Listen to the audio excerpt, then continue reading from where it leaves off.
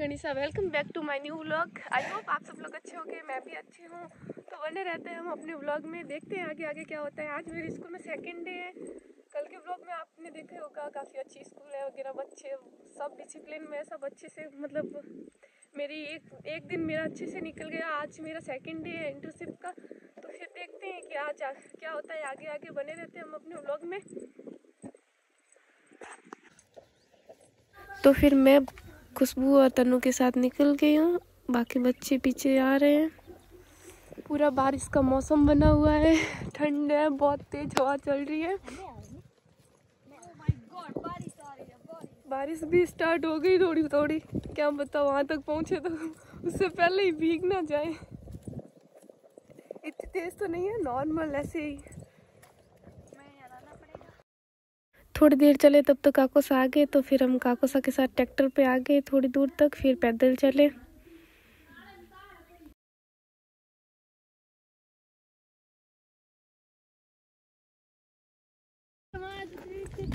ये तो ये तो कोई गोरो आवे ना कर गयो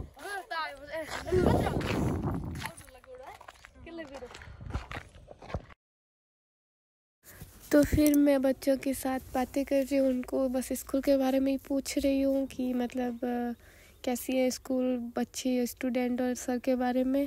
क्योंकि मैं तो बस एक ही दिन गई थी आज सेकंड डे है तो मतलब इनसे पूछ रही हूँ मुझे ज़्यादा कुछ पता नहीं है तो फिर बातें करते करते मतलब हम काफ़ी दूर पहुँच गए।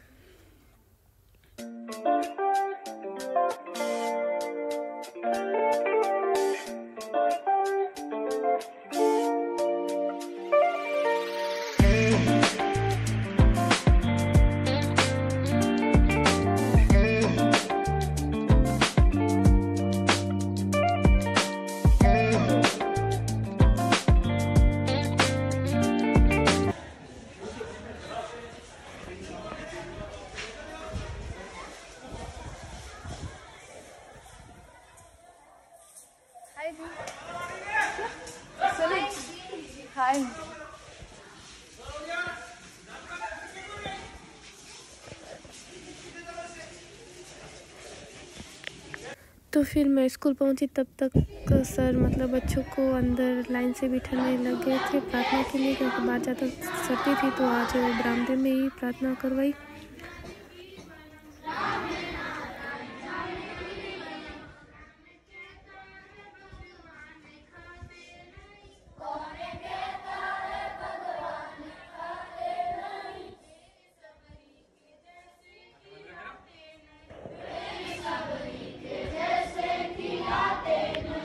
तो फिर मैं आ गई हूँ स्कूल से वापस। घर आई तो मेहमान आए हुए थे। काफ़ी देर उनसे बातें की फ़ोन भी डिस्चार्ज था तो मैं आगे का व्लॉग कंटिन्यू नहीं कर पाई। तो अब आगे कंटिन्यू तो फिर दादी सा अठारह को शादी है वहाँ शादी में जा रहे हैं तो उनके लिए मतलब जो साथ में सूट पैक कर रहे हैं जो शादी में लेके जाएँगे वो। मेरे को चार सूट निकालने थे सारे निकाल लिए। पूरा बग्गस खाली। मेरे सूट काफ़ी है यहाँ पे।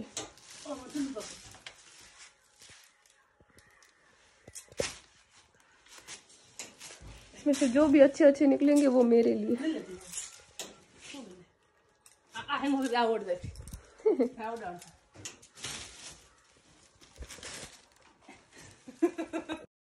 दादी से शादी में जा रहे थे तो फिर मम्मी ने सूट निकला तो मम्मी ने सोचा कि आज थोड़ी बहुत अंदर से बगस की सफ़ाई भी कर ले, क्योंकि काफ़ी सूट ऐसे पड़े थे, जो मतलब किसी को मतलब मतलब करने का मन ही नहीं करता, ऐसे हल्के हल्के से सूट है, बस उसको अलग कर रहे हैं।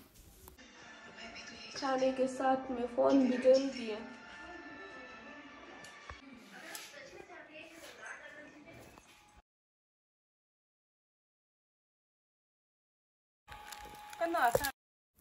या मम्मी सूट अलग कर रही हैं जो हल्के हल्के से उनको अलग रख रही हैं और जो अच्छे अच्छे वो अलग कर रही हैं। कुछ सूट है जो पैक भी करने हैं तो फिर उनको ओढ़ने हैं जो पीको करने हैं वो साइड में रख सूट ले। लो दुकान लगी हुई है सूट ले लो। जसी वगैरह मम्मी अलग अलग ब्रांड बता रहे हैं ले लो। सूट ले लो। तो फिर वो सारे सूट सही रख के वो बाकी सब पैक करके बाहर आ गई मैं। शाम भी हो गई थी और बारह ही तब तक मेरे फ्रेंड का कॉल आ गया तो फिर मैंने उससे बातें की। यहाँ इधर खुशबू की तो अलग ही फ़ोटो शूट चल रहा है। मम्मी ने बड़ी मम्मी की ओढ़ने पीकू की, अब उनको देने के लिए जा रहा है। और मेरे पास ऐसे काफ़ी कमेंट आते हैं कि भाई साहब, अपने घर को और अपने मम्मी को व्लॉग में नहीं लेते हो, ऐसा कुछ नहीं है। मेरे काफ़ी व्लॉग में मेरी मम्मी आई हुई है और मेरा घर भी है। काफ़ी व्लॉग में आप ठीक से मेरे पूरे व्लॉग देखोगे तो मेरे मतलब परिवार के बारे में भी जान लोगे। मैं मेरे दूसरे वाले फ़ोन से बात कर रही थी तो ये मेरा फ़ोन खुशबू के पास था तो खुशबू ने कब वीडियो बनाया, कुछ पता नहीं था। तो मैंने आज के व्लॉग में ऐड कर लिया। वो अपने फ़ोटो क्लिक कर रही थी तो साथ में उसने मेरे भी वीडियो बना लिए। फिर मैंने सारी क्लासमेट से बात की मतलब मैं अपनी फ्रेंड से बात कर रही थी तो उनके पास बाकी सब फ्रेंड के नंबर थे। कुछ को मैंने ऐड कर लिया, कुछ को उन्होंने ऐड कर लिया। फिर हम सबने बहुत सारी बातें की, बातें करते करते कब शाम हो गई, कुछ पता ही नहीं चला। काफ़ी देर बाहर बैठी बैठी बातें की, फिर मैं ऊपर छत पे चली गई, क्योंकि शाम के टाइम मैं ज़्यादा छत पे ही रहती हूँ। ये शाम का नज़ारा कितना अच्छा है। मतलब देखो कैसे लाल लाल बादल हो रहे हैं सूर्यास्त के टाइम। मतलब बहुत सुहाना मौसम था। तो ज़्यादातर मैं शाम के टाइम ऊपर ही रहती हूँ, चाहे किसी से बात कर रही हूँ फ्रेंड से या फिर ऐसे ही मतलब मौसम अच्छा लगता है तो ऊपर छत पे आ जाती हूँ। मेन रीज़न तो कि नेटवर्क की वजह से मैं ऊपर छत पे जाती हूँ, क्योंकि घर में नेटवर्क नहीं रहता है इसलिए छत पे चली जाती हूँ।